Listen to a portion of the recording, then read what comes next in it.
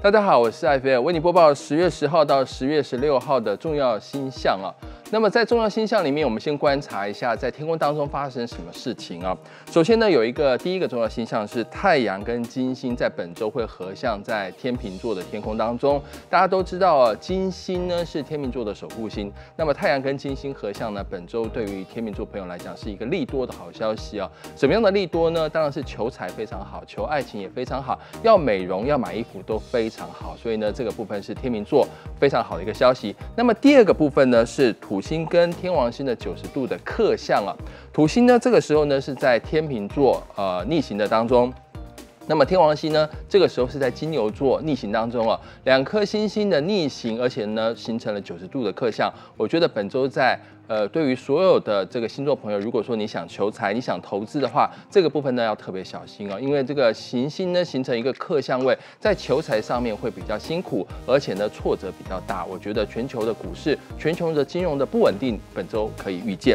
那么第三个重要现象呢是海王星跟火星的九十度的克相。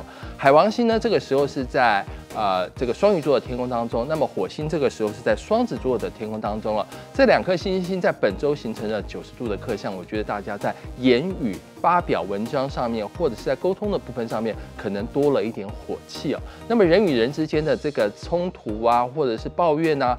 或者是说这种恶意的攻击，我觉得不管是在面对面的部分，或者是在网络上面哦，可以可想而知哦，应该是越演越烈。那么因为今年呢又是选举年哦，那十月份哦接近选举的时候，我觉得呢应该社会上面普遍呢政治人物啊，或者是一些网红啊，或者是说对于政治高度敏感的一些这种重要人士哦，可能呢网络上面的沟沟通的纠纷哦会越演越烈。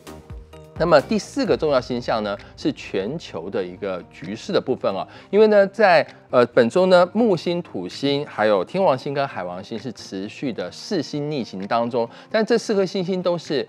世代星也叫做局势的新星啊，所以呢，在全球的局势上面，本周呢仍然是挫折多于顺利的讯息。所以呢，有关于全球的气候暖化或战争议题，或者是粮食议题，或者是疫情的议题啊，我觉得十月份啊，大家都要特别小心。但是呢，我们来看一下十二星座的部分，在本周呢，每一个人应该要注意哪些好消息？或者是坏消息，我们来看一下白羊座的朋友呢，本周是感情的顺利哦，爱苗初长，秋天到了，呃，白羊座的朋友谈一场秋天的童话，非常适合你哦。金牛座的朋友呢，哎，秋天到了，进行身材的雕塑跟管理哦，是非常重要的，体重控制也是非常重要的。如果这秋天不好好的管理身材，你有可能会。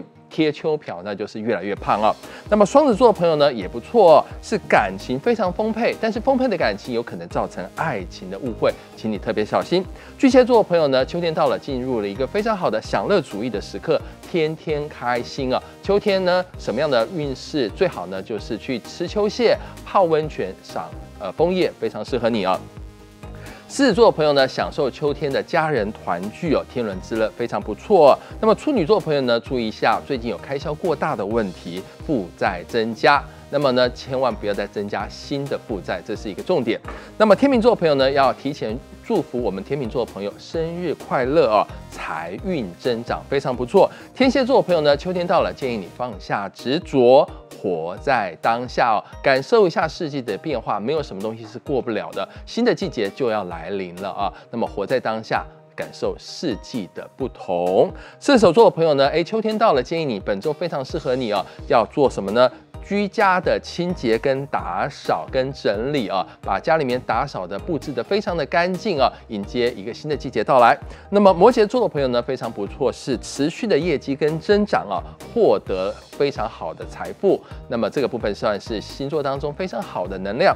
那么水瓶座的朋友呢，是情场的高手啊。那么在爱情当中所向披靡，应该会斩获新的恋情。双鱼座的朋友呢，则是两情相悦，互定终身。秋天的爱情运。非常好，双鱼座朋友，请你一定要把握秋天的童话，让美梦成真。以上就是本周的星座运势，提供您参考。